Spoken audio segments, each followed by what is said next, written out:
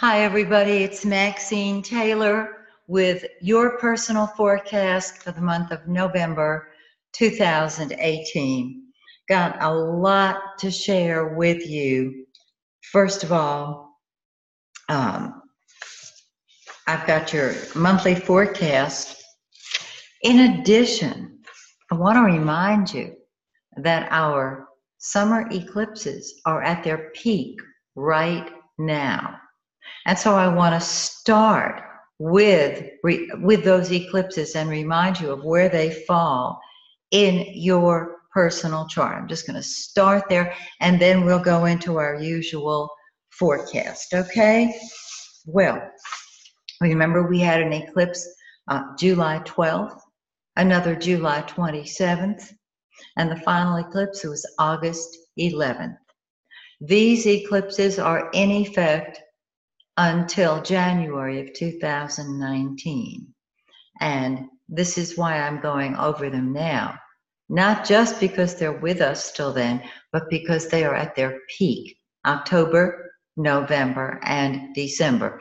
And speaking of that, let me just mention that my um, special, my Crazy Holidaze special, in view of everything that has gone on the past week with last week's full moon on Uranus, uh, you are going to want to know your own forecast as in as much detail as possible because in order to navigate through the minefield that seems to be in front of us every time we turn around or turn on the news, you want to be secure in your own personal forecast. So just go to my website, MaxineTaylor.com, and all the information is there. All right, let's talk about what these former eclipses are activating in your chart uh, till the end of December, truly, but very, very strongly. Aries, well, your home and family, very, very important to you, as are your friends. And if you have kids, throw them into the mix. Pets are children too, by the way. So I consider my cat to be my child. She certainly is as demanding as one would be. Um, and I love her just as much as I, and I know you do love your pets too. This is also a time for fun for you, Aries, so go for it. Taurus, terrific ideas, whether you're writing the world's greatest uh, novel, doing videos, or just sharing your ideas with people. Your career is moving upward. Go for it. And of course, home and family, real estate. Are you buying? Are you selling? Are you just staying at home at night with a remote in your hand, enjoying home sweet home? Gemini, your money. Hallelujah, your money and your ability to see a much larger picture and to expand your horizons, as well as your communicative skills. Gemini's a talker anyway, and man, it's triggered now. Cancerians, oh, this is your time to do what you want, when you want, how you want, because you want. It's your turn. Now, helping other people get their values straight, very helpful, very important. Try not to hammer them over the head with it. Just tell them what they need to do. And your own values and your own money look excellent. Mm, go for it. Leo, you want solitude and privacy. You, your life is your business, it's nobody else's. I'm going to contradict myself because the next eclipse says, get out there and be with the world, be with everybody. So you've got to balance your need for privacy with your popularity with others. And you're doing your thing your way. Your mantra is my way or the highway. Virgo, your friends, so important to you. Your humanitarian side, strongly triggered. And being a friend, equally important to everything. Your work picture looks good, so does your health. However, you're going to want privacy. We got this privacy thing going. So just be with your friends, go to work, and make sure you have time alone. Libra, your career looks great. Your kids are doing great. It's time for fun and it's time to visit with your friends. Oh, this is wonderful. So you've got both business and pleasure. Scorpio, you see the big picture. Well, you're a psychic detective. Of course you do. Your home and family, very important to you. And your career is excellent. So move into the top slot. No lateral moves, upward moves for you. Sagittarius. Well, you are the psychic detective now, aren't you? Just ask the multiverse a question and you get the answers. You might want to keep those to yourself. You know what I mean? You tend to be very honest and just shoot from the hip. And while the answers that you get might be really helpful for you, others might not be as interested. You are ready to spread your wings and soar. So do it. Capricorn, that one on one relationship, whether it's elusive or whether you've got it, it's triggered. Not only that, but if there's nobody special in your life, now is the time to get out there and find them. Yes, your money looks good. And if you're in a contract with someone financially, if you have a, a mutual uh, business that combines money, that's activated very strongly as well. In addition, it's time for a personal transformation. Aquarius. Well, your work looks good, your health looks great. You always march to your own drummer, and right now is no different than any other time. However, you are giving your attention to the, the people who mean the most to you, the one on one relationship or relationships that are meaningful to you. Quite beautiful. And Pisces, it's time for fun. It's time to let out the drama queen and express her. Um, and while your work is very important to you, you really always need solitude so that you can pull back, retreat, and listen to a distant melody. So, those are the summer eclipses. They'll be with us till December, and very strongly too. Now, let me tell you what's going on. I mentioned my Holidaze special. I'm going to give you more detail on that. You'll see why in, in just a minute. Well, actually, you know what? I think I'll do that now. One of the things that is going on celestially right now, and when I say right now, today is the 30th of October. Uh, it starts now and Halloween.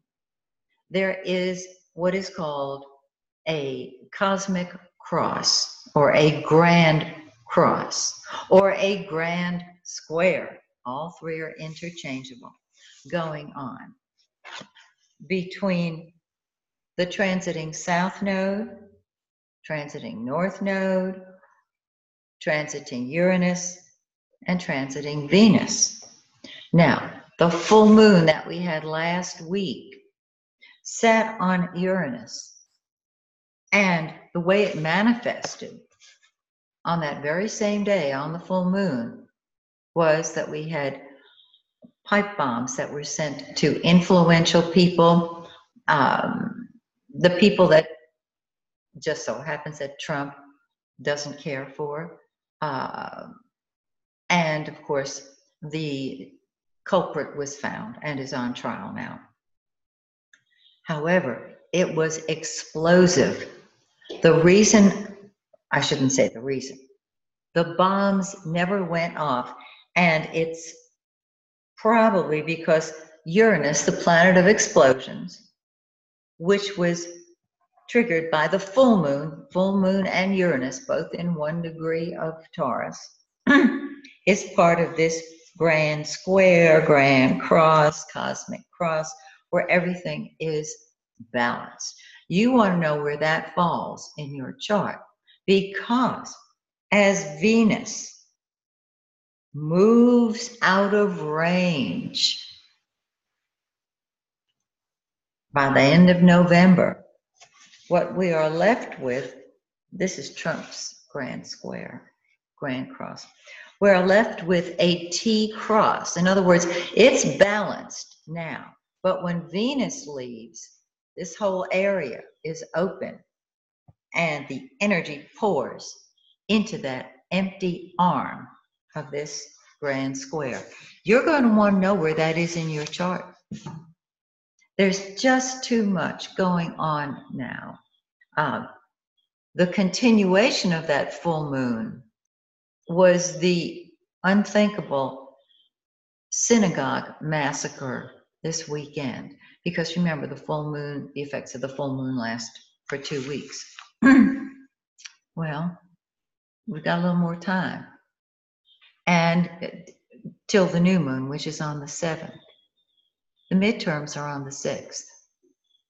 I would suggest that if you're not currently watching my Trumpology reports on my YouTube channel, that you might find them very, very helpful because the details that I go into on Trump's chart and the United States chart will be very helpful in helping you decide your path.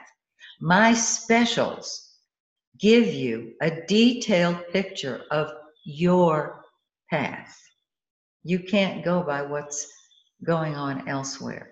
You have to know what is activated in your chart so that you can put your attention on all the good stuff and increase it. My website is Maxine Taylor. Check out the special. All right. Now, what's going on is that we have a new moon, as I said, on the 7th, the day after midterms. It's in 15 Scorpio. 1511 if you want to be if you're a virgo 15 scorpio 11 um, find that in your birth chart because that is where the action begins for you now we have a full moon and i'll have my full moon ceremony that day on the 23rd of November. That's the day after Thanksgiving. Some of you may not be in Atlanta. Actually, some of you who are not here normally might be. It's at 7 o'clock at the Phoenix and Dragon bookstore. I hope to see you there. This full moon is in zero Gemini 52. Call it one degree of Gemini. Find that in your birth chart, dear friend, because that is where things come to a head I love it, don't you? And we will, of course, talk about it at the full moon ceremony. There are usually about 40 people there. Uh, I don't know how it will be this month because people are on vacation or they're recovering from Thanksgiving. but it's always incredible. Not, not because of me, but because of the people who attend. So I invite you to come. There's no charge. So, continuing with what all's going on this month. The sun is in intense, powerful, all or nothing Scorpio. So, Scorpio, it's your turn till the 22nd when it spreads its wings and soars into out of my way. Uh, I've got to be me. I've got to be free. Sagittarius. Now, Venus, the planet of love and money and beauty, is retrograde, as many of you know, until the 16th. It's in lovely Libra, its own sign. So it, it's trying to balance everything and figure out a way of balancing it. Well, it's retrograde. So there's always the unexpected.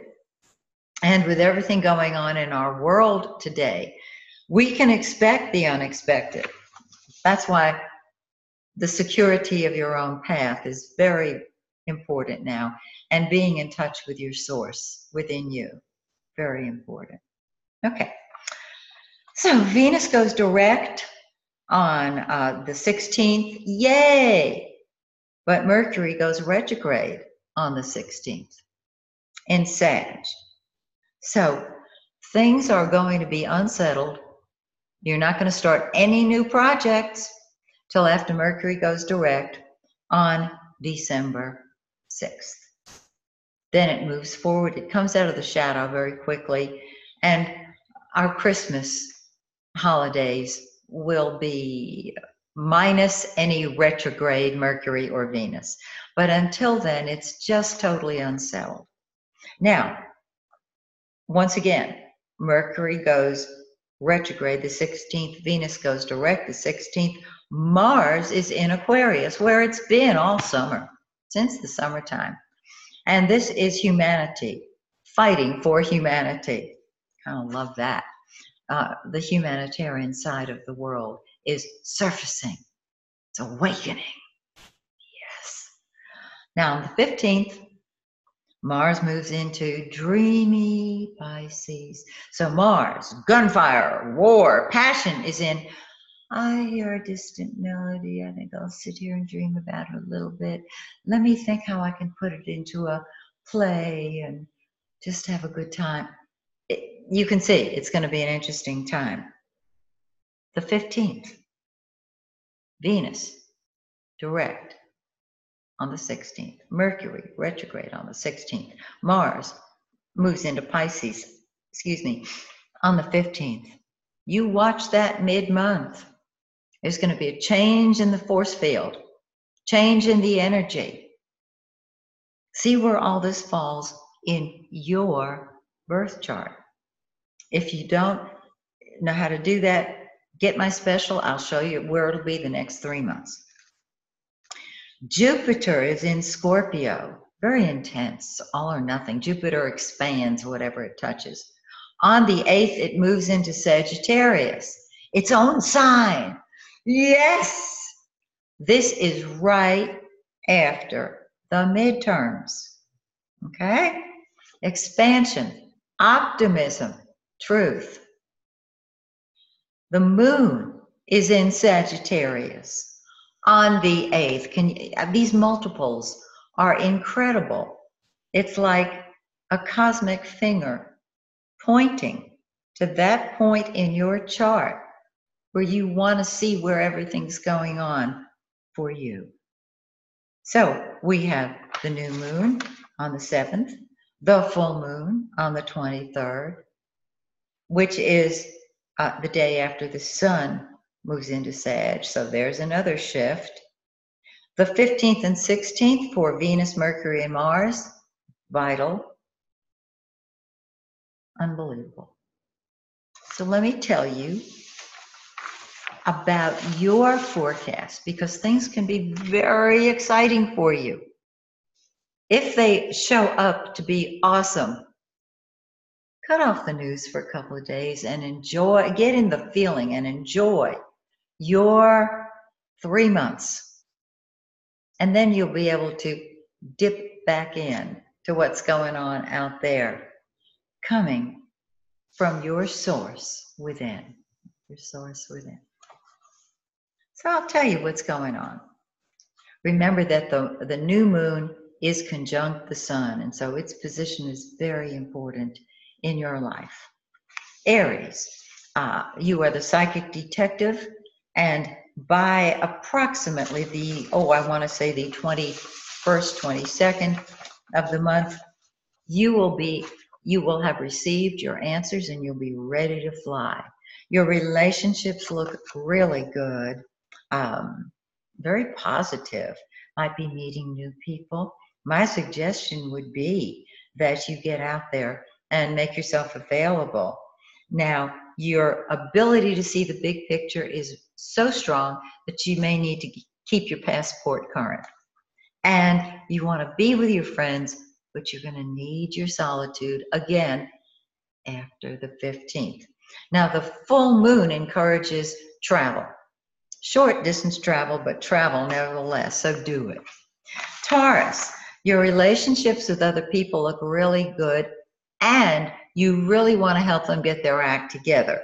This is a very favorable thing. If you've been waiting to start a new job or maybe uh, work on a health issue, perfect this month. However, what you want to keep in mind is that Mars, remember, Mars is action, so I'm emphasizing that. Mars says keep throwing yourself into your career, but right around, oh, the 15th of the month, spend time with friends. And let's talk about the full moon. Your money increases on the full moon. Finances come to a head. Yay. This is terrific. Gemini, your work is important to you, but by the end of the month, oh, or after the 22nd, let's say, you are definitely ready to get out there and be with people. You're ready for fun all month. And you want to take your principles and put them into action in your career. Do it. Absolutely. And the full moon says, do what you want, when you want, how you want, because you want, because it's your turn and you can. Enough said.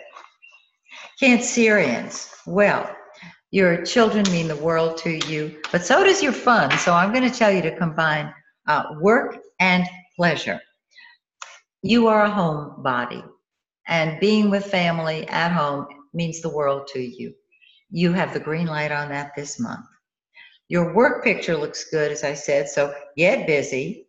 And you, very much like Aries, are going to be asking deep, intense questions, and you will get the answers at mid month, 15th of the month. The full moon says you need time alone. So after the 23rd, or right around the 23rd, I want to say, pull back, retreat, take a spa day or a spa week if you have to, and give yourself time alone. Great, grand, glorious Leo, your home, your family, your kids, very important to you right now. You'll, short trips look really terrific. Uh, um, especially if you can visit with family members and re- reconnect with them. So do it.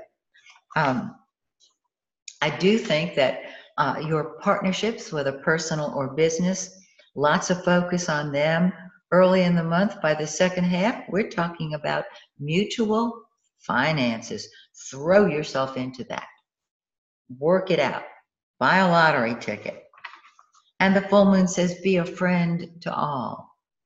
Uh, if you're having a party, invite your friends, not just your family. They will make it delightful.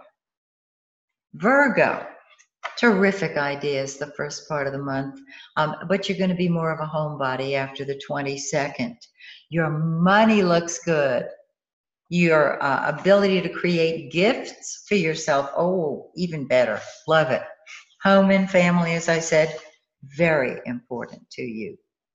Um, your work and your relationships. Real key right now. So throw yourself into your work first, and second half of the month, get out there and be with the people who mean the most to you. And the full moon encourages you to jump into the lead slot, grab the top slot, focus on your career. Libra, money is important and you can create more of it uh, the first part of the month after the 23rd. Talk to people, share your ideas. Time to beautify yourself. Now, I know Venus will go direct after the 15th, so that would be the time to do so. Enjoy yourself. The first part of the month, literally the first half, you're ready to party. Second half, you're ready to work. Cool. The full moon says get on a plane, go someplace far away and have a blast. See the big picture, see options that you didn't know you had. Your, your vista, your view becomes long term, long range. I love it. Scorpio, wow, this is great. You're doing your thing your way till the 22nd. After that, you're focused on your money. Ooh, couldn't be better. You want to be alone especially if there's somebody very important to you. That relationship is private. You may just want to be alone just because you need solitude and privacy. Doesn't matter, just enjoy yourself. And your home and family is very important to you um, till mid month when it's time to party. If you have kids, they will pick up where home and family left off, though, because they'll insist on your attention. And the full moon uh, on the 23rd really triggers your psychic awareness, your, your natural intuition, and you are the psychic detective. Sagittarius, Well, the first part of the month you want to be alone. Second part of the month you want to do things your way. So it's your turn. It's your time. Your friends mean the world to you. And you love being a friend, but you're going to have to balance that between your need for solitude and privacy and doing things your way. Travel is terrific the first part of the month, but by the second half of the month, you may want to stay home more. Of course, that's when the holidays are.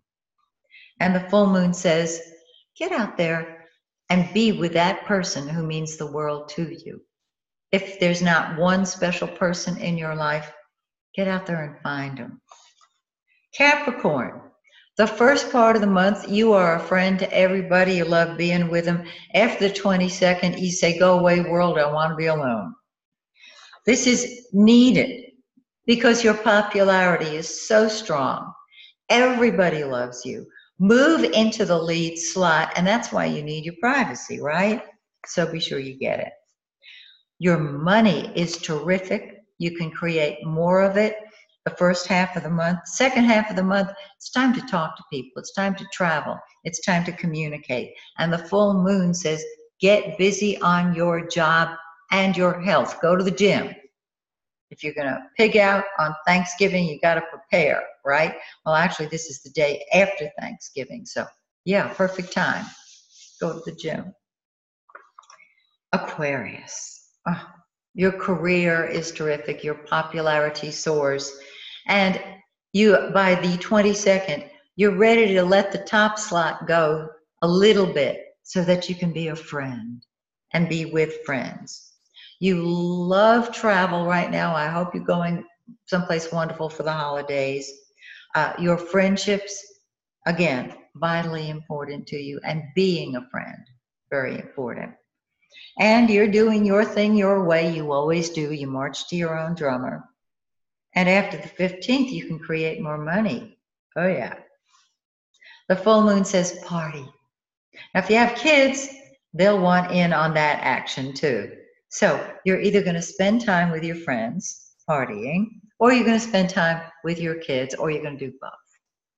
And last but not least, Pisces. Oh, take your belief systems and implement them in your career. Take what you believe and take a stand for it publicly. You still want your privacy, that's how it goes. You're really, you have a dream about love and you're able to deal with it this month. Ooh, I love it. And even though your popularity soars, you still need time alone. And this is what Mars says pull back, retreat, and do what you want. So you're going to be pulled in all directions at once, right? And the full moon says, just stay home, enjoy your family, be with them. Now, uh, some people have asked me, in, in light of everything that's going on in our crazy world, how to stay positive, how to stay happy. Well, that's the, that's the key. Uh, there are some days I, I can't watch the news because it's too upsetting, it's too crazy, and uh, we know that it's just going to it's going to be more of the same. So what i do is i make uh, appointments to visit with friends over lunch or dinner. Um, i'm part of a trivia group. Some of you know uh, i contribute what i can. Uh, beautiful people and it's a, a social event. So we really enjoy that.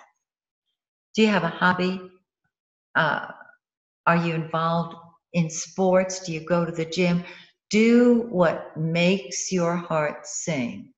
Do what makes you happy. This is how you lift yourself.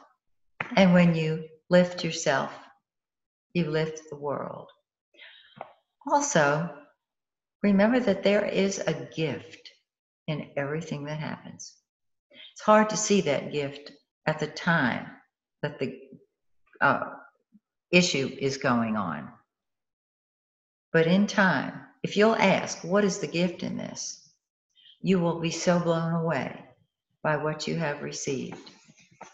This will lift you to a higher level, and you'll be able to share that with the world. So, until we meet again, may the stars shine brightly on you and yours. Bye for now.